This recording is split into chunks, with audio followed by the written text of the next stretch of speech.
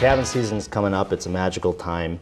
Uh, I'm looking forward to it. My cabin is actually uh, uh, kind of closer to Duluth, but um, and that's a wonderful area too. Now, that first time you unlock the door, it's, it, it feels like a magical time, but when you have to clean up what's left over the winter, that's Right. maybe not quite as magical as, as some people uh, would That's hope right. for. The raking, the cleaning up. Uh, generally, there's maybe a mouse or two that is uh, Right. camped there for the Right. winter, so, you know. I love it. I love the ritual. You know, whatever it is. You know, we are lucky that it's a year-round cabin. We get to snowmobile up there too, but still, you know, you're putting the dock in, raking, know, getting the, you know, getting the, the boat and motor tuned up. Um, I love it. I just, I just absolutely love it. Garrison Keillor just did a hilarious piece about a migrant dock installer who would start in, in Yes. Missouri in, in March and work his way north and Oh, absolutely. install docks. And, and, you know, this is all fictional, obviously, but the, Well, I don't, I don't dispute that. I bet you that happens. there's, there's probably work to be found there.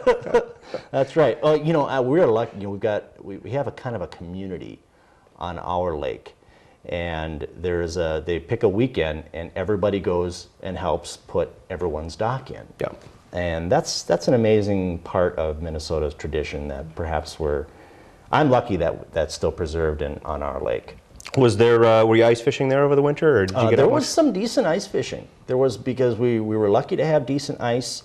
Uh, there were some times where the crappies were really hitting hard, um, but uh, you know we're uh, we're also facing some of the lake management issues that other lakes are seeing. Now let's let's talk about that. What are some of the things you're hearing, not only from constituents and, and people here at the Capitol, but from I'm guessing cabin neighbors talk to you about you know things that we can or should do better.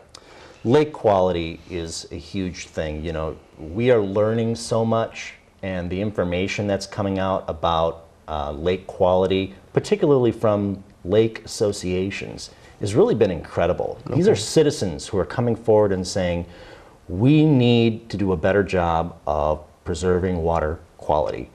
Um, and yes, government, we want you to help us, but we're going to take the initiative ourselves.